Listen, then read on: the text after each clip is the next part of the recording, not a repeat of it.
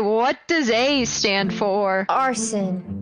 Oh, you're so good. Okay, B. What does B stand for? Barson. What stands for C? Commit arson. D.